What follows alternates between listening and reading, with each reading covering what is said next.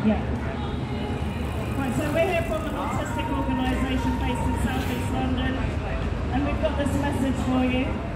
We at Autistic Inclusive Meets are in full support of the families and survivors that have been brutalised by Essex Mental Health Services. We came here today after hearing the family stories, hearing about their loved ones, sons, daughters, brothers, sisters, parents, all dead. All dead dreams to be let down, abandoned, drugged, raped and assaulted, all the fault of mental, of Essex Mental Health Services.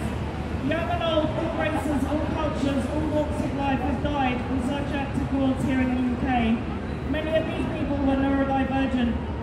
These people sought help for their mental health and trusted these services to support them, to get them through trauma, to help them with depression, anxiety and many other mental health issues.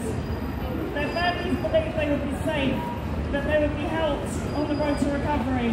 Instead, they were given the worst news anyone could ever hear. Essex Mental Health has blood on their hands. The families have demanded a statutory inquiry into the mental health care provided by Essex Mental Health Services. So many lives have been failed. FPJ will do your due diligence and give these people what they are asking for.